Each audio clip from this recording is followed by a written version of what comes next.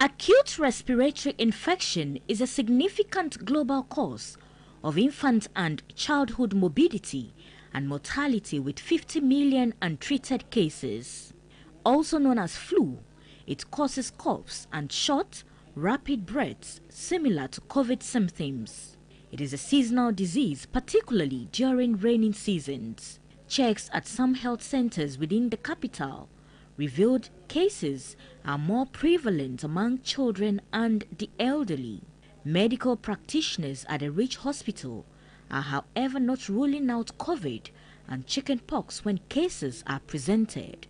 Whichever we pick, we will not have missed the opportunity to give you the adequate treatment. Children and the aged are the most vulnerable around this time because they have a lower immunity threshold. So it is very important that once you are having those symptoms, you come to the hospital. If you have a headache, take just paracetamol. Don't abuse the other medications, especially for children. You are not supposed to give them the non steroidal anti inflammatory drugs. It will cause different complications. Deputy Director of Public Health and Head of Disease Surveillance at the Ghana Health Service, Dr. Dennis Laryea disclosed that the service is monitoring the situation, but cases remain below the monthly threshold of over 200,000 cases nationwide. We monitor for these and it's across all 16 regions. Uh, the only thing is that the organisms have changed. Um, the one that was leading, which is H1N1, we had that as an outbreak or a pandemic in 2009, 2010. Uh, but now it's changed to H3N2. So maybe there are what we call clusters. So it can happen maybe in one school, a number of people may fall ill, or in a certain workplace, one person may get it, and it would spread amongst that group. So within that small environment, yes, they would say that the numbers have gone up. He encouraged the public to observe cough ethics. When a person has a cough or a cold, I think as much as possible they should stay away from others. It's important that you put on a mask so that when you cough, the droplets don't come out of your mouth and be transmitted to others.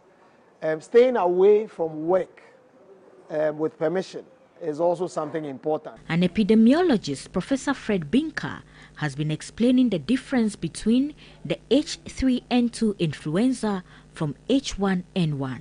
In the epidemiology, usually it gets milder so that it can survive.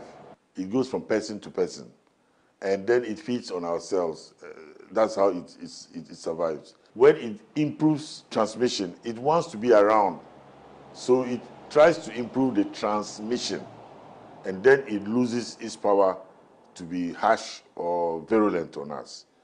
The H3N2 is less virulent than the H1N1.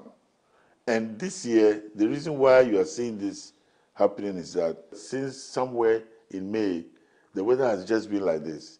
And it's a cool weather. I have not been spared. Neither have some colleagues of mine. If you didn't know, now you know. It's the flu season, and it's not a pleasant experience. So protect yourself and your family, especially children. Sarah Apenkroh, TV3 News, Accra.